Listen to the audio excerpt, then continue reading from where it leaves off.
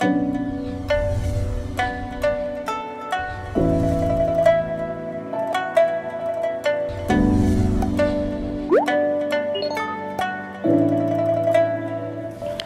frères et sœurs en islam, nous évoquons aujourd'hui par la grâce d'Allah subhanahu wa ta'ala un des énormes bienfaits dont il a fait preuve vis-à-vis de nous.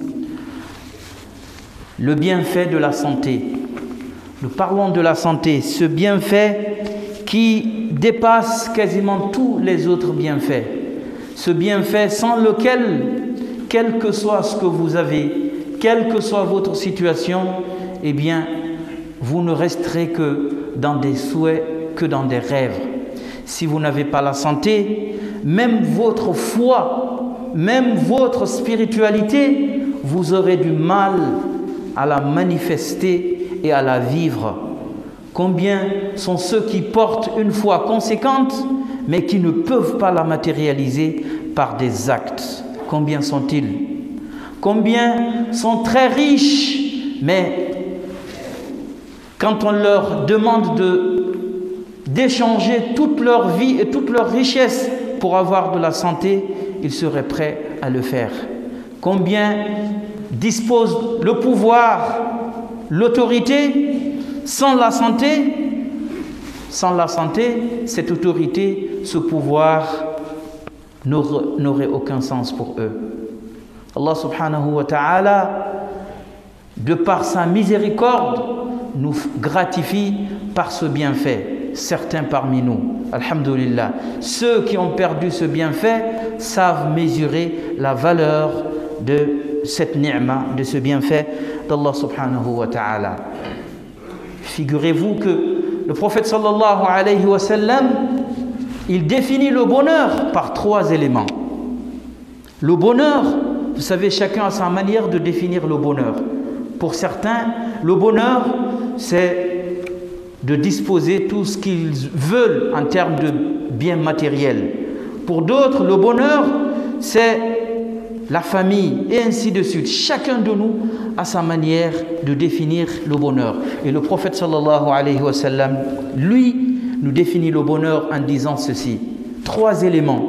Trois éléments qu'on disposerait et que qu'on considérerait, sauf ceux qui ont la conscience vraiment tranquille et qui reviennent à l'essentiel, on passe complètement à côté de ces éléments, à la recherche du bonheur, alors qu'il est là, il est là au niveau de nos portes.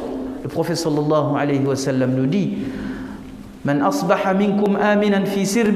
celui celui le matin qui se réveille en étant en sécurité, premier élément de définition du bonheur, la sécurité, être en sécurité, ne pas avoir peur de ceci ou de cela, tu vis en sécurité. Ensuite, fi badani, il se réveille le matin, il est en bonne santé. La santé, deuxième élément. La sécurité, la santé. Il dispose ce qui lui permet de s'alimenter et de manger à sa faim uniquement sa journée.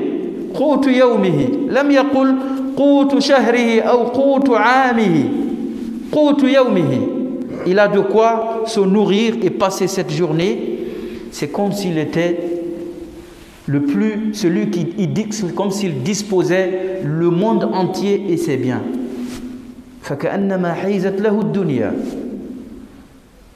Avec un petit peu de recul, avec un petit peu de réflexion, personne de nous, en tout cas beaucoup de nous, devrait, nous devrions tous nous sentir heureux. Le bonheur, il est défini par le prophète. Voilà ce qu'il faut pour être heureux. Nous disposons tous ces éléments et nous courons, nous allons chercher le bonheur ailleurs parce que notre définition du bonheur n'est pas la bonne. Pour revenir à notre thématique du jour, la santé, disposer de la santé, c'est un énorme bienfait d'Allah subhanahu wa ta'ala, sans lequel tout ce que vous disposerez autour n'aurait pas d'importance, n'aurait pas de sens, n'aurait pas de valeur.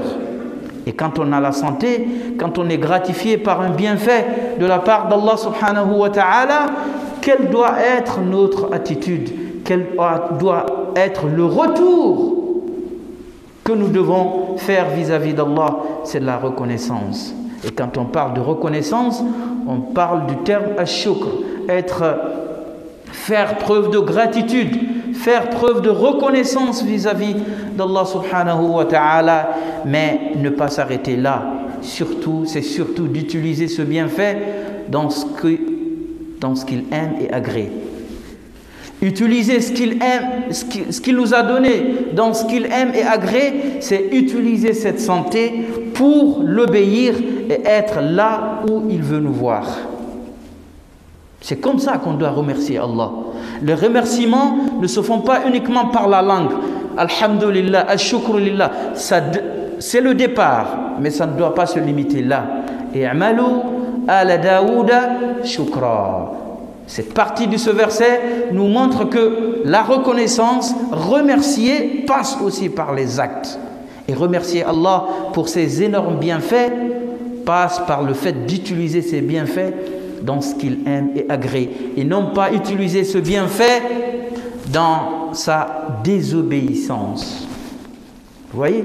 Avant d'utiliser ce bienfait dans ce qu'il aime et agrée, il faut d'abord en prendre conscience de la valeur et de l'importance, de la portée de ce bienfait. Si vous voulez réellement savoir la valeur de la santé, parce que celui qui ne l'a jamais perdue ne saura jamais la mesurer. Posez la question à ceux qui sont malades, qui ne peuvent pas bouger, à ceux qui sont privés de leur mouvement. Ils seront prêts à échanger tout ce qu'ils disposent pour retrouver cette sensation de se lever, de se rendre à la mosquée, d'adorer Allah, de prier. Ils seraient prêts à échanger tout ce dont ils disposent pour avoir cette sensation de se lever, de bouger, de se rendre ci, par-ci et par-là, de voyager et ainsi de suite. Et ainsi de suite.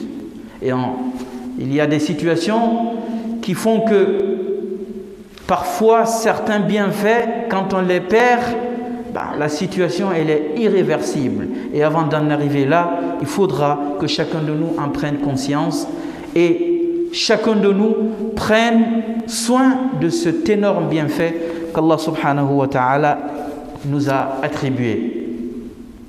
Car, car plus le bienfait, la ni'ma, elle est énorme, plus, plus sa portée, même le jour du jugement dernier, même devant Allah subhanahu wa ta'ala, sera importante. Allah subhanahu wa ta'ala nous dit et certainement vous serez questionné sur tous les bienfaits dont Allah subhanahu wa ta'ala a fait preuve vis-à-vis de vous. Dans ce verset de Surah Al-Takathur,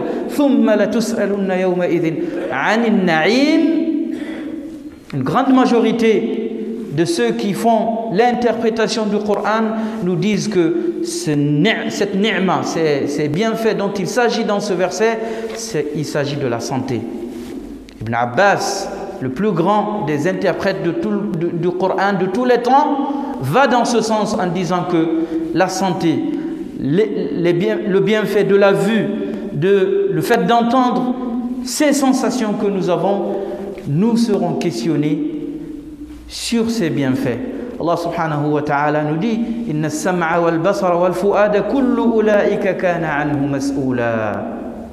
Les yeux rendront compte, les oreilles rendront compte, la bouche, la langue, elle rendra compte.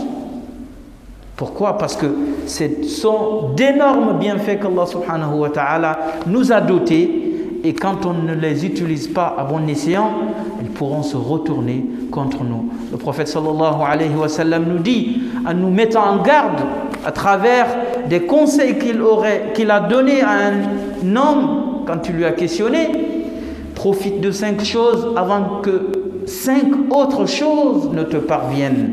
Profite de cinq choses avant que leur contraire ne te parvienne. Profite de ta jeunesse avant ta vieillesse. Profite de ta santé avant que tu ne sois malade. Profite de ta richesse avant que tu ne sois pauvre. Profite de ta vie avant que la mort te surprenne. Profite de ton temps libre avant que tu ne sois occupé et que tu ne puisses plus faire ce dont tu aspires, ce que tu veux faire. C'est une manière de nous dire que rien ne demeure. Rien ne demeure. Toutes ces cinq choses que le prophète sallallahu alayhi wa a citées dans ce hadith, l'un et son contraire viendra. La vie et la mort. Nul n'est éternel. La santé avant la, vie, avant la, la maladie.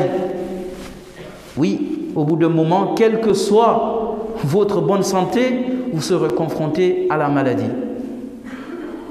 La jeunesse avant la vieillesse. Nul ne va rester stable à...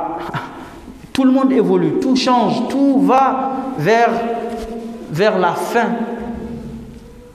Une manière de nous attirer l'attention sur les énormes bienfaits dont nous disposons, mais que nous considérons, nous avons tendance à voir toujours le bonheur ailleurs, alors qu'il faut un petit peu faire une introspection sur sa situation personnelle pour se rendre compte que, eh bien, j'ai toutes les raisons d'être heureux. J'ai toutes les raisons de dire Alhamdulillah de par ma langue, mais aussi de par mes actes et mes gestes à travers ces énormes bienfaits.